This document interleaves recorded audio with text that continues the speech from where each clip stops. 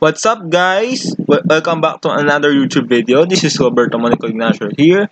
And this vlog talks about the 15th anniversary of Hong Kong Disneyland. So,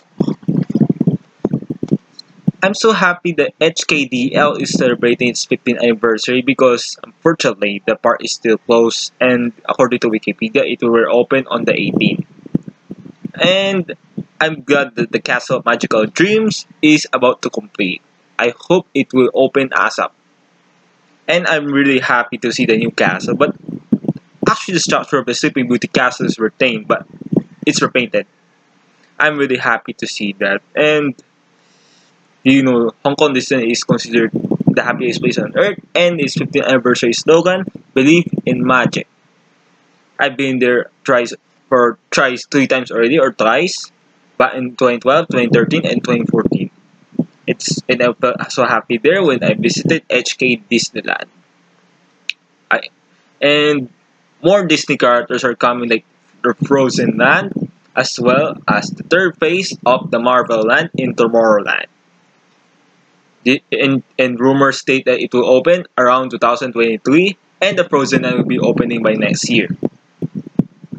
So my reaction is that I'm feeling happy and surprised because HKDL is going to be bigger and better.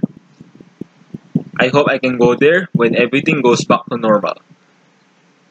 So, guys, viewers, what will be re your reaction regarding HKDL's 15th anniversary? What will, and what will be your reaction regarding the new Castle of Magical Dreams and the new Frozen Land. And another question is that how do you feel that HKDL will, will be bigger and better soon? Leave it in your comments below so that I can read it. So thank you guys for watching. Hope to see you guys in our next video. Don't forget to subscribe down below and hit the bell button for more upcoming videos. Bye guys and see you later. Stay safe!